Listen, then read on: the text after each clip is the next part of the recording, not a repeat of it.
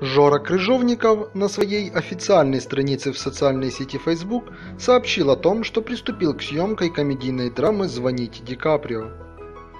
Сериал производства компании Good Story Media расскажет о неудачливом актере по имени Лев, который всю жизнь завидовал младшему брату Егору, любимцу женщин и человеку года по версии журнала JQ. Но неожиданно, в силу неопределенных обстоятельств, братьям придется поменяться местами. Над проектом, чей кастинг стартовал в середине мая прошлого года, также работает автор «Сладкой жизни» Петр Внуков и продюсер GSM Антон Щукин. Показ сериала состоится на телеканале ТНТ. Ориентировочная дата выхода сериала – декабрь 2017 года.